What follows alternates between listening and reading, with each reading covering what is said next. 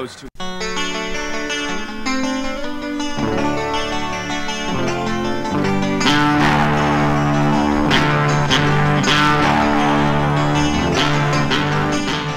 Untangling the threads on the origins of Christianity get a lot more difficult when powerful people keep retying the knots.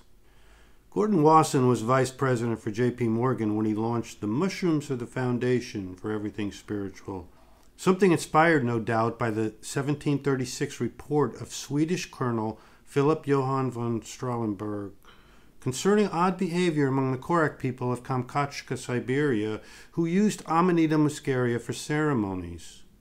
The colonel was being held prisoner at the time and reported The poorest sort, who cannot afford to lay in a store of these mushrooms, post themselves on these occasions round the huts of the rich and watch the opportunity of the guests coming down to make water, and then hold a wooden bowl to receive the urine, which they drink off greedily as having still some virtue of the mushroom in it, and by this way they also get drunk.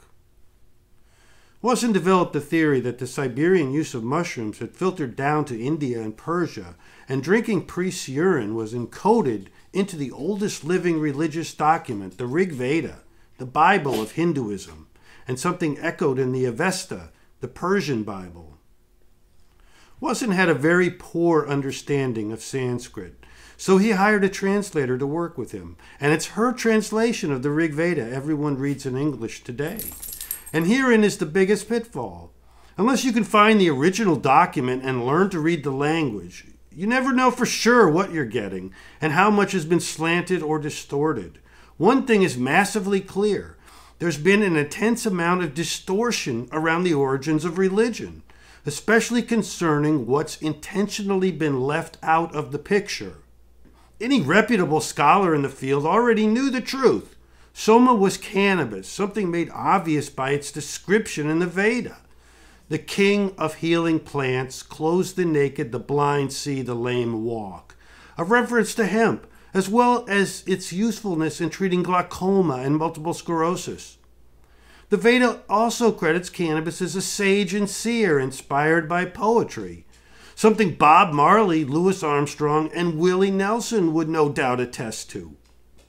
Strange such a well funded effort to misdirect people away from cannabis, not only in the Vedas, but also in the foundation of Judaism and Christianity, would be spearheaded by a vice president of the world's second most powerful bank.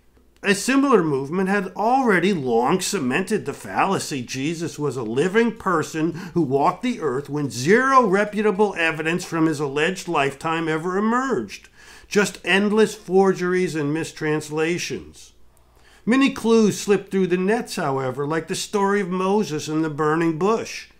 Obviously, powerful forces disappeared the real history of cannabis, and this effort continues to keep a lid on the story today. There is no such controversy in India where every barefoot sadhu knows Soma is a reference to bhang.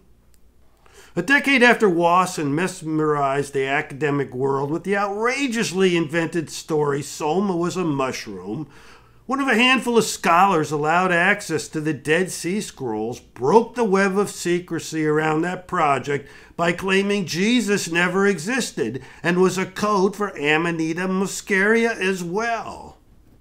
According to John Allegro, Jesus meant semen, and Christ meant giant erect mushroom penis. This was all based on the Sumerian language, long dead by the time of Jesus. And it just goes to show how far you can stretch this story in any direction you want. Allegro sold this story to the tabloids and lost his academic career in the process. Judea was at the pivotal crossroads connecting the Roman Empire with Persia and India. The biggest influences in the time were coming from the West, and Greek was the universal language of the educated, not to mention the only one used to write much of the New Testament. So, isn't it far more likely Jesus is an echo from something Greek sounding, like Zeus, perhaps? And doesn't that have a much better ring for an icon on the altar than semen? Not to mention the current story is the real name was Joshua, but got changed to Jesus for unknown reasons. A weak tale. Meanwhile, Krista is Sanskrit for attraction, and Sanskrit had a huge influence over the Greek language. The Greek Christos means the anointed one, but it can also mean Krishna. According to Indian legend, Krishna was manifested magically to bring harmony back to an unbalanced earth. Krishna is often portrayed as a blue faced child with flute who brings music, dancing, and fun and symbolizes love and peace, and can be portrayed also as an older man. The colloquial Bengali expression for Krishna is Cristo, which is exactly the same as Christ in Spanish. So, why did Allegro reach back into ancient Sumerian dialects to find answers that should be clear? And why have both the mainstream scholars and conspiracy theorists been directed down the same mushroom rabbit hole when the disappearance of cannabis is the real story in the history of religion? Ma means cannabis, as in soma, hyoma, shuma and that's also the source for shaman and magician.